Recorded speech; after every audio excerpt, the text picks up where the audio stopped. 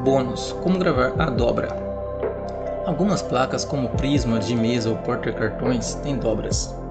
Sabendo-se que a chapa de inox é bem dura para se dobrar, tente dobrar uma chapa de inox na mão para você ver como é. Mas então, como fazer essa dobra na placa gravada? Para fazer uma linha de dobra em uma placa de prisma, você segue o passo a passo descrito. Tudo começa no fotolito. A linha da dobra deve ter pelo menos de 1 a 1,5 mm no fotolito, para que a gravação saia adequada. Depois de revelada e gravada a placa na chapa, você cobre com adesivo toda a placa gravada, deixando a linha de dobra exposta e coloca para gravar mais um tempo de 2 a 5 minutos. Assim você terá uma dobra na placa fácil de fazer, seja usando um gabarito ou na quina da mesa mesmo. Bem, então é isso. Vamos para o próximo vídeo.